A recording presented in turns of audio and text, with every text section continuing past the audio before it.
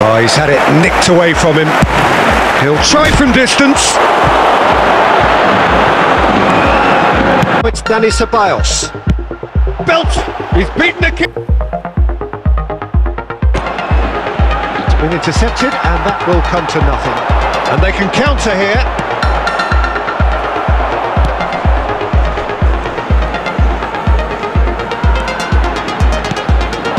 Mbappe. Looks a cracking ball. De Bruyne. Shot a goal! And he hits the net!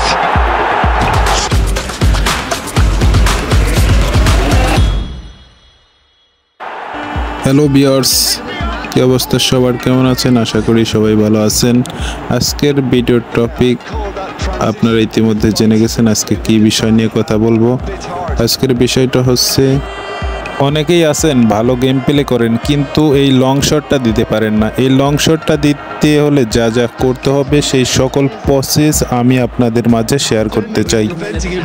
বন্ধুরা, চলুন দেখে আসি কীভাবে অন টার্গেটে বল রেখে লং শটের মাধ্যমে গোল করা যায়। এর জন্য আপনাকে সর্বপ্রথম যে বিষয়টা মাথায় রাখতে হবে, সেটা হলো আপনার প্লেয়ারের কিকিং পাওয়ারটা বেশি থাকতে হবে।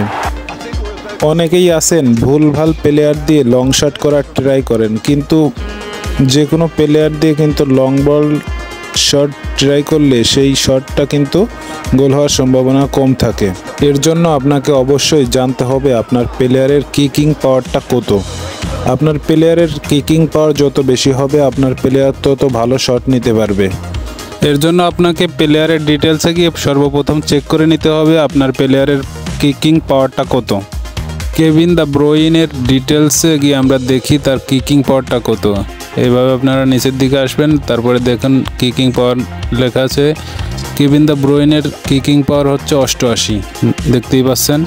এইভাবে আপনারা প্লেয়ারের ডিটেলসে গিয়ে কিকিং পাওয়ার চেক করে প্লেয়ারকে মিডিল পজিশনে খেলাবেন বা আপনার মন মতো যেইখানে খুশি সেইখানে খেলাবেন, যাতে আপনি যেইখান থেকে শট নেবেন গোল হওয়ার সম্ভাবনা থাকে এরকম পজিশন আপনার প্লেয়ারটি আপনি সেট করবেন।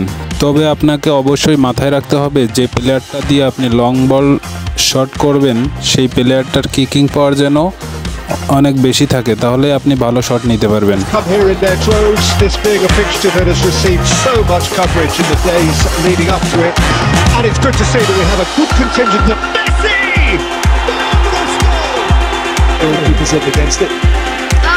After two minutes, boys.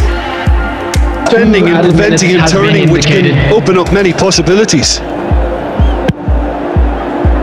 Belts one!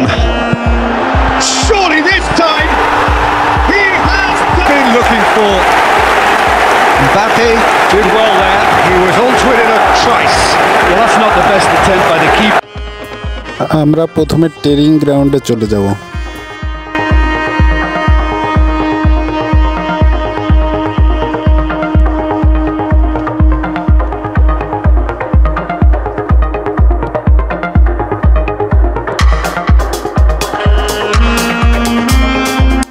জয়স্টিকটা one টার্গেটে রেখে শর্ট বাটনটা যে কোনো একদিকে আপনাকে টান দিয়ে ছেড়ে দিতে হবে।